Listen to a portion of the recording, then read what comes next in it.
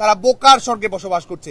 মেধার স্বর্গে নয়, তারা আসলে বোকার স্বর্গে বসবাস করছে। এবং আমাদের, বিশেষ করে দু হাজার আঠারো সালের পরিপত্র জারি করার আগে, আমাদের নারীদের সরকারি চাকরিতে, বিশেষ করে বিসিএস ক্যাডারে পিএসসির আওতাধীন পরীক্ষায় নারীদের অংশগ্রহণ ছিল পঁচিশ থেকে ছাব্বিশ পার্সেন্ট পরবর্তী সর্বশেষ বিসিএস আপনারা জানেন যে সেটি টোয়েন্টি পার্সেন্টের নিচে নিচে নেমে এসেছে সর্বশেষ বিসিএস যে কারণে আমরা আহ্বান জানাচ্ছি যে আমাদের আমাদের জেন্ডার সমতা প্রতিষ্ঠিত করার জন্য, নারীর ক্ষমতায়ন নিশ্চিত করার জন্য, আমাদের যে নিয়ম নীতি থাকা প্রয়োজন, সাংবিধানিক সুরক্ষা প্রয়োজন, সেটি তো আমাদেরকে অবশ্যই রাখতে হবে। তাহলে কি তারা বৈষম্য নিরসনের জন্য আন্দোলন করছে নাকি বৈষম্য জারি রাখার জন্য তারা আন্দোলন করছে?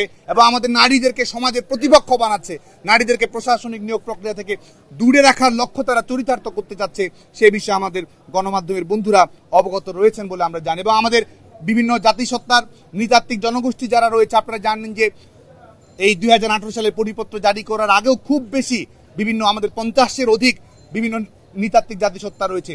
বিশ জন, একুশ জন করে তারা আমাদের এই পিএসসির আওতাধীন বিসিএস পরীক্ষায় তারা অংশগ্রহণ করার সুযোগ পেত।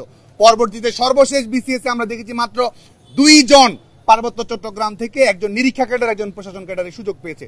তার মানে কি আমরা তাদেরকে আমাদের আমাদের ইনক্লুসিভ সোসাইটি প্রতিষ্ঠিত করার জন্য তাদেরকে আমরা এক ধরনের প্রোটেকশন দেব না, যেটি আমাদের সাংবিধানিক অঙ্গীকার এবং এটিতে আমরা সুস্পষ্টভাবে বলছি যে কোনো যিনি পরীক্ষায় ভালো করছে না বাংলাদেশের আমলাতান্ত্রিক প্রক্রিয়ায়, তার তার অংশগ্রহণেরই সুযোগ নেই।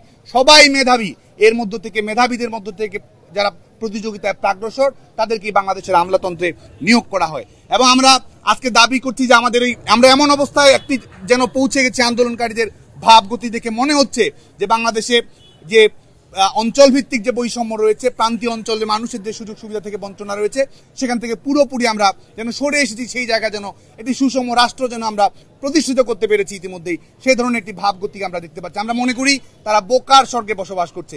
মেধার স্বর্গে নয়, তারা আসলে বোকার স্বর্গে বসবাস করছে। এবং আমাদের কাছে যেটি পরিসংখ্যান রয়েছে, আমাদের নারীদের অংশগ্রহণের ক্ষেত্রে বিসিএস পুলিশে, আপনারা জানেন যে এক ছত্রিশতম বিসিএস মাত্র চোদ্দ জন সাঁত্রিশতম বিসিএস চোদ্দ জন আটত্রিশতম বিসিএসে বারো জন, চল্লিশতম বিসিএসে দশ জন, একচল্লিশতম বিসিএসে চারজন নারী আমাদের এই প্রশাসনিক প্রক্রিয়া অংশগ্রহণ করার সুযোগ পেয়েছে।